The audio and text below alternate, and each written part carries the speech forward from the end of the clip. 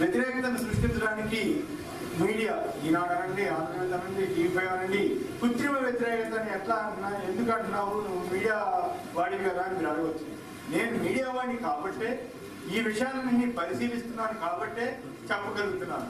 ఎంత దారుణంగా ఎంత నీచంగా వార్తలు రాయడం నేను ఎప్పుడు చూడలేదు. నేను ఇప్పుడు నలభై ఆరో సంవత్సరంలో ఈ ఫీల్డ్లో ఉన్నా. చాలా వార్తలు రాయొచ్చు. మంచి చెడు రెండు రాయాలి. అసలు మొత్తం చెడు తప్ప ఇంకోటి ఏమీ లేదు. ఆంధ్రప్రదేశ్ అంతా ఏదో అయిపోతుంది అని భ్రమ కల్పించడానికి ప్రయత్నం చేస్తున్నారంటేనే అంటే దాని అర్థం ఏంటి జగన్ గారి ప్రభుత్వం బ్రహ్మాండంగా చేస్తోంది. పేదలకి మొత్తం వరాలు వాళ్ళు ఏమైతే చెప్పారో అవన్నీ అమలు చేస్తున్నారు. అలాగే రాష్ట్రం ప్రశాంతంగా ఉంది. ఇలా ఉంటే ఎట్లా? ఇలా ఉంటే మరి జగన్ గారిని ఓడించడం ఎట్లా అనేటువంటి ఒక దిగులతోటి దుగ్ధతోటి ఇలాంటి చేస్తున్నారు.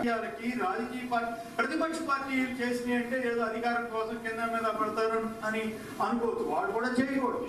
ఇలాంటివి ఏవి ఎవరు ఇలాంటివి ఆలోచనలు చేయకూడదు. కానీ దురదృష్టవశాత్తు మీడియా ఈ రకమైనటువంటి కుట్ర రాజకీయాలకి మీడియానే పాల్పడితే సమాజంలో ఫోర్త్ ఎస్టేట్గా ఉండవలసినటువంటి మీడియా ఇలాంటి అధ్వాన రాతలు రాసి సమాజాన్ని భ్రష్టు పట్టించాలని చూస్తా ఉంటే ఏంటి పోతోంది ఈ మీడియా ఎటువైపు ఎవరికి ఏమనిస్తున్నారు ఈ సమాజానికి సందేశం? ఇవన్నీ కూడా ప్రతి ఒక్కరూ ఆలోచించాలి. నిజానికి జగన్ గారి ప్రభుత్వం వచ్చిన తర్వాత ఈ నాలుగేళ్ళలో అత్యంత ప్రశాంతంగా ఉన్నటువంటి ప్రా- రాష్ట్రంగా నేను గర్వంగా చెప్పగలను. ఎందుకనంటే అట్లా చెప్పి గొడవ నేరాలు జరగలేదంటే నేరాలు జరగడం వేరు ప్రభుత్వ పరంగా జరగడం వేరు. మీరు తుని రైలు దగ్ధం. ఇప్పుడు జరిగింది కదా? అంత పెద్ద ఘటన జరిగింది. ఆ ఘటన జరిగితే ఎవరు తప్పు? ఆందోళనకారులు తప్ప ఆందోళన ఆపు చేయలేనటువంటి ప్రభుత్వానికి తప్ప అవేమీ తప్పు కాదంట. కేవలం అపోజిషన్ వాళ్ళు ఎక్కడ పులివెందులో లేకపోతే రాయలసీమకు ఉండాలనో చెప్పి చెప్పారు. చివరికి ఎవరిని అరెస్ట్ చేశారు? ఈస్ట్ గోదావరికి సంబంధించి వెస్ట్ గోదావరికి సంబంధించినటువంటి కాపు వర్గం నాయకుడిని మరి ఇప్పుడు తప్పు అప్పుడు శాంతి బ్రహ్మాండంగా వెలసిల్లిందని రాస్తున్నారా? ఇరవై తొమ్మిది మంది రాజమండ్రి పుష్కరాల్లో చనిపోతే తప్పెవరిది? భక్తులంట. స్నానం చేసిన వాళ్ళది కాదంట. ఇరుగు సభలు పెట్టి పదకొండు మంది చనిపోతే దానికి తప్పు వచ్చిన వచ్చిన సభికులదే కానీ సభ నిర్వహించిన వాళ్ళది కాదట. ముఖ్యమంత్రిగా ముఖ్యమంత్రిగా పద్నాలుగేళ్ళు పనిచేసిన చంద్రబాబు నాయుడు గారిది కాదట.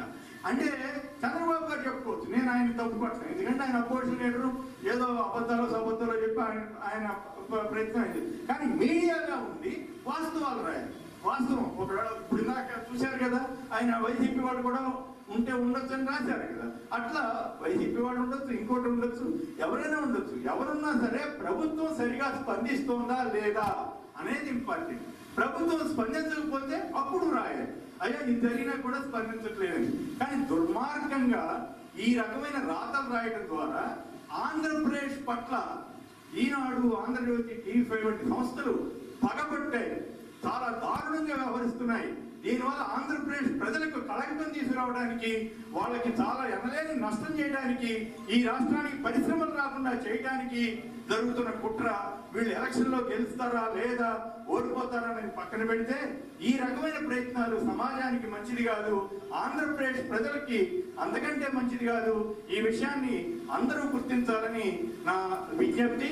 ప్రత్యేకించి ఈ ఎందుకు ఈ ఇష్యూస్ని రేజ్ చేస్తున్నారు అంటే ఆంధ్రప్రదేశ్లో ఇప్పుడు ఇప్పుడే మిత్రులందరూ చెప్పారు. వారు జయకర్ గారు కానీ జాన్ వీళ్ళందరూ కూడా.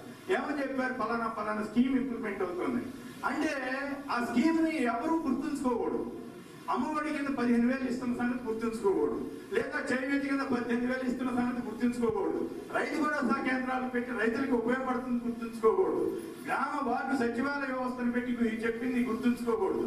ఇలా అనేక అంశాలు. వాటిని ఏవి కూడా దాదాపు ముప్పై నుంచి ముప్పై కొత్త స్కీములు. నేను చెబుతున్నానండి నేను అనేక పది మంది ముఖ్యమంత్రుల్ని దగ్గరగా చూశాను దూరంగా చూశాను. ఇట్లా అన్ని అబ్జర్వ్ చేస్తూ వచ్చాను.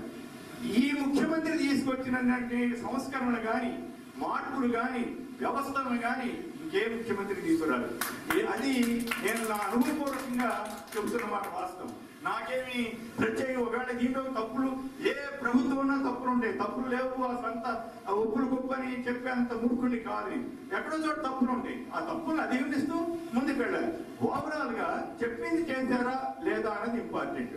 ఏ ముఖ్యమంత్రి ఏ ప్రభుత్వం కూడా ఇది నా మేనిఫెస్టో.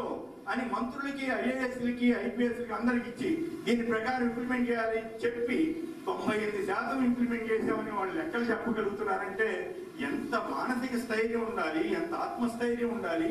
అది ఈ అది సుపరిపాలన అంటే ఒకప్పుడు ఈ తాలూకాలు ఇవన్నీ ఉంటాయి ఎన్టీ రామారావు గారు మండల వ్యవస్థ తీసుకొస్తే అబ్బో జరిగిందని అందరూ పొగిడారు.